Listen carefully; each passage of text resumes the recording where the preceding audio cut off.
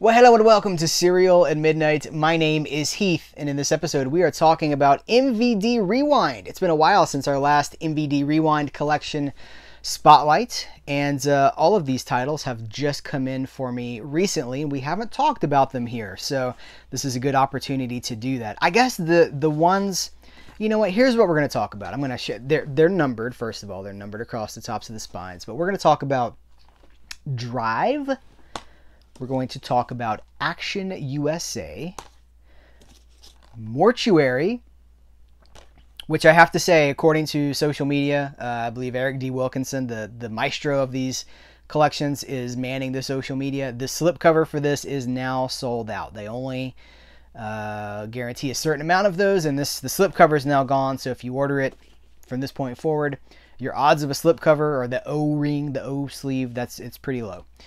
One Dark Night.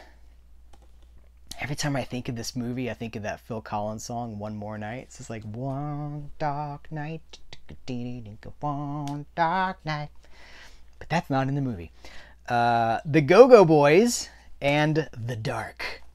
So here's, I'm going to be honest with you guys. I've watched about half of these, and about half of these I have not yet had a chance to watch. But I would rather come before you and talk about them talk about what I have seen, especially because uh, as I'm recording this video, both The Dark and One Dark Nights are still in pre-order phase. They're not officially available yet. So I have, you know, a first look at these. I have an advanced look, and I wanted to talk to you guys about them. Also important to mention that both of these movies were previously issued um, through Code Red, I believe it was Code Red, wasn't it? They they I think one was even like a Ronin Flix exclusive, uh, limited to a certain amount of, of units, and they're gone. They're gone. So enter MVD. I noticed that the Dark actually has Code Red on the back. So this is in partnership and collaboration with Code Red.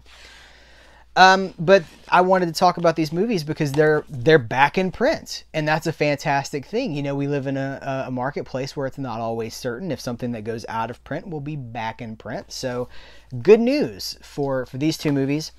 Um, I'll t- you know I'll talk briefly about because I've watched uh, so One Dark Night. Um, let's start there.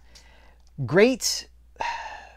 It's it's a weird movie, but it's fun. It's got this really cool atmosphere, and it's it's got Adam West in it. I love these like later Adam like 70s and 80s Adam West roles.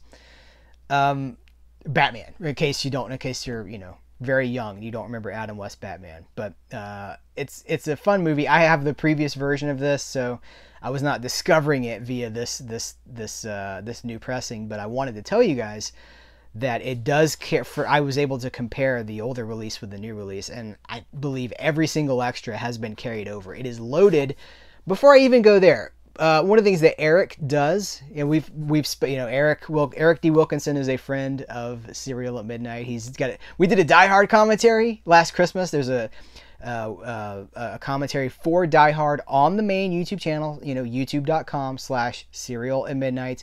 It's a commentary for Die Hard. You can find it under our commentaries playlist right there on our main page.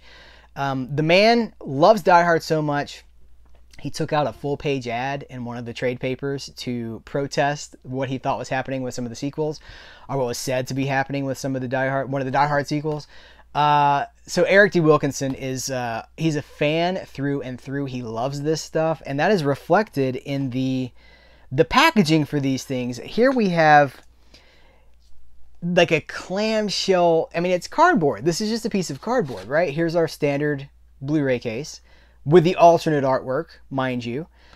Uh, but it's got, you know, it looks like the old plastic rental stores, right? And it's got uh, Eric's video, you know, Eric D. Wilkinson's video and uh, it, you know how they would take the cardboard and they would cut it and then they would stick it into the sleeve. Like my library still does this. Actually they probably don't have vhs tapes anymore but my library did do that. Anyway all the extras are carried over and uh, i'm going to hold these up for you so you can get a good gander yourself but we're talking about uh, the the newer remaster. I think it was a 2017 possibly remaster for this movie, the new scan. Audio commentary number one, audio commentary number two, and in- tons of interviews. Um, the most important thing that many of you guys are going to ask about who know the alternate director's cut slash the work print version of the film uh, standard definition is included. That alternate cut, it's right here. Behind the scenes footage, photo galleries, and they all come with mini posters. Every MVD Rewind release comes with a mini poster, which is a nice touch. So that's one Dark Night. If you want it, now's the time. Uh, and The Dark is a fun, fun, atmospheric. This is directed by John Bud Cardos, who was uh, a lot of people have discovered Bud Cardos within the last year, year and a half, via the Al Adamson set that came out from uh, from uh, was it from Severin, right? Yeah. Um, and uh, John Bud Cardos is involved with a lot of those movies. He was a friend of Al Adamson, and he's in a lot of supplemental features for those, talking about. He's continued the legacy. Had he's passed away now, but he went on to direct The Dark and other movies as well. But this is the one. I mean, it's it's good. It's fun. It's low budget enough that it still feels like what I think we want from this kind of a movie, but it's got enough money behind it that it doesn't feel it feels like a step up from those Al Adamson movies for sure. It feels a lot more competent. It's got like decent special effects. This is the movie with the score that it's like vote. It's like dark, dark, dark, I actually think that's really interesting. And they talked to the composer uh, in the interviews here. They talked to what's his name, Roger Kellaway, who was like a he was a jazz musician prior to being a composer. So 25 minute interview with him, uh, 13 minute interview with Bud Cardos. Uh, isolated score for those that do like the music. I think the music is actually really cool. Um, this movie has, let me read the cast. It's got William Devane, Kathy Lee Crosby, Richard Jaeckel, who I came to know from Baywatch, of all things, Keenan Wynn, uh, and uh, and an alien. and it's it's a really fun movie with a lot of cool like time capsule stuff. Like they shot I gather they shot it in 77. It was released in 79. But there's a, a Star Wars billboard on the road like, you know, like a you see going down the highway, there's a big Star Wars billboard. Uh, which is fun. First one because there was only one at the time, you know. Uh, so anyway, this is uh, this is now available as well, or it's it's about to be available. It's available for pre-order, and it oh it has a cool interior artwork too. It's got the poster, but I wanted to show you guys the. You know what? I'm just gonna just pull this out here, hold that up for you guys. I think this is nice. I like that this was included.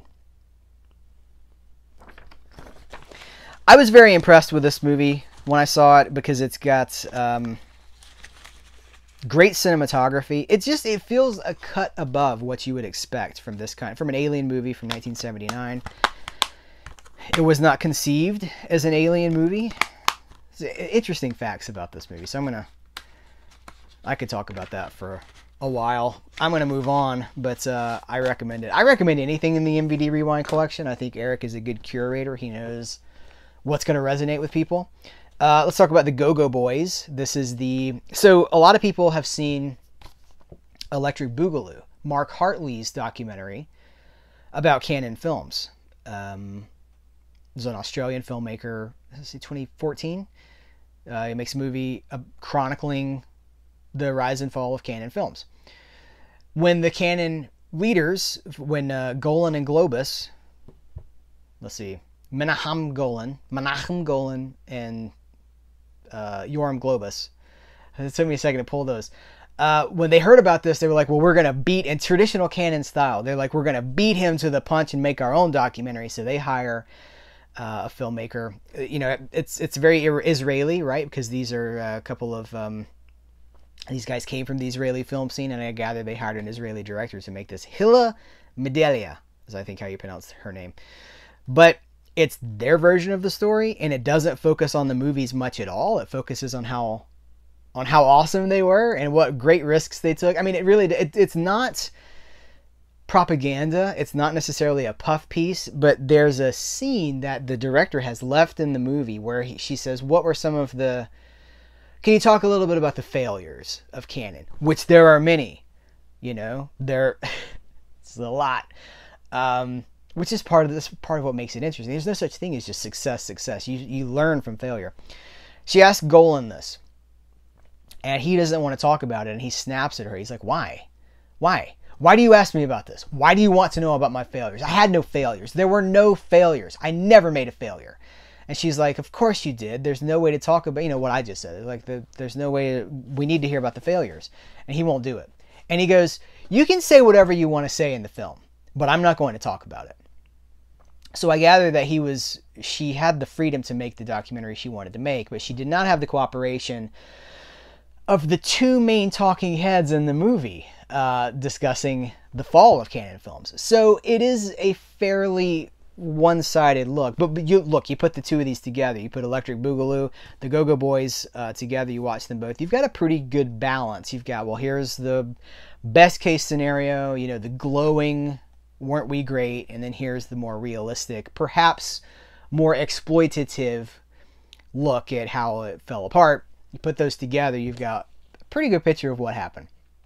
And I'm going to add uh, that you also want to read the Cannon Film Guide Volume 1 from Austin Trunick, who is a Patreon supporter of Cereal at Midnight, which is very cool. To find out how you can be a Patreon supporter and unlock over 100 exclusive videos, visit patreon.com slash cereal at midnight. Like austin trunick we interviewed austin too about uh, the cannon film guide and i can't wait to uh, read the cannon film guide volume two. It's going to be a three volume book and i mean it's exhaustive. It is truly scholarly. There's so much information there. So this does it just scratches the surface but i'm so grateful that we have this because up until now i don't even think we had an option to see this um, in the form that I think like it was missing subtitles because you know most of the people are speaking they're not speaking English, and so um, we now have subtitles so we can see what everybody's saying. It's very interesting. So uh, those are the three I've watched. The three that I haven't watched was Mortuary. Bill Paxton's in this, which I'm I'm really curious to see it. I, I want to, you know, just didn't want to wait. I wanted you guys to know about these pre-orders before um, before time was up. So high definition presentation of Mortuary uh, interview with composer John Cacavas, I believe is how you pronounce it, and a collectible mini poster. So you're going to get this artwork clean on a mini poster, no stickers. Um, and it's got a movie melt, a heat sensor sensitivity warning. Man, Eric is just so so detail oriented with this stuff. Be kind, rewind. Show you the uh, there's the poster, there's the disc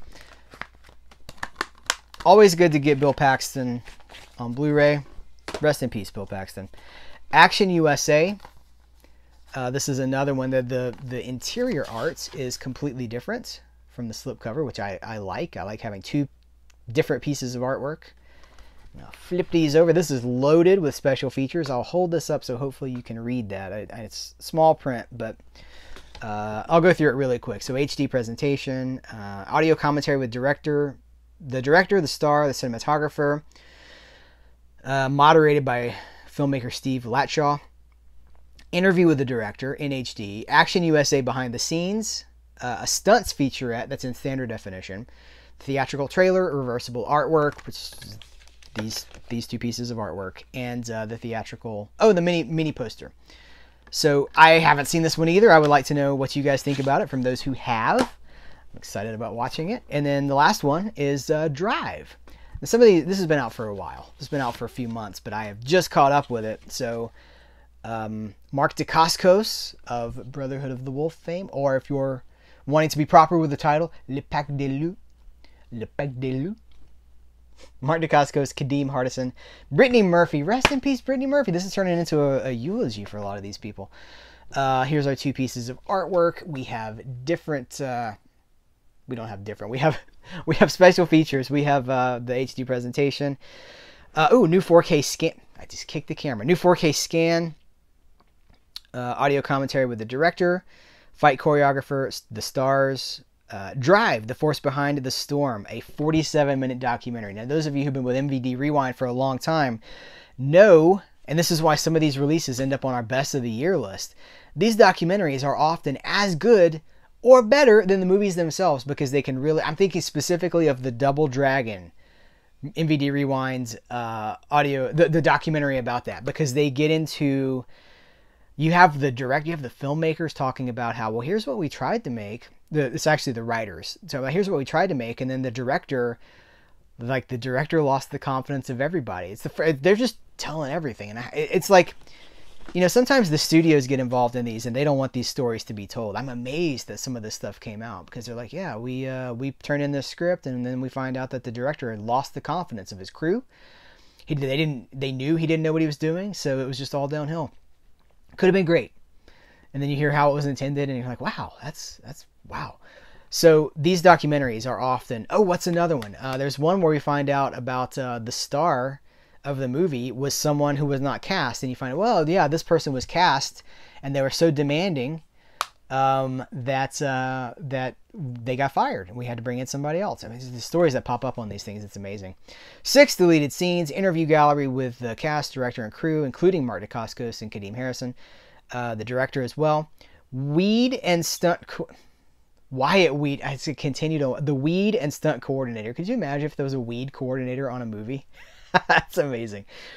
Um, Drive, the theatrical cut with optional subtitles, and uh, the original theatrical trailer, reversible artwork, and mini poster. So you have uh, you have what's the what's the theatrical cut situation? So it's an hour and thirty nine minutes. Wow.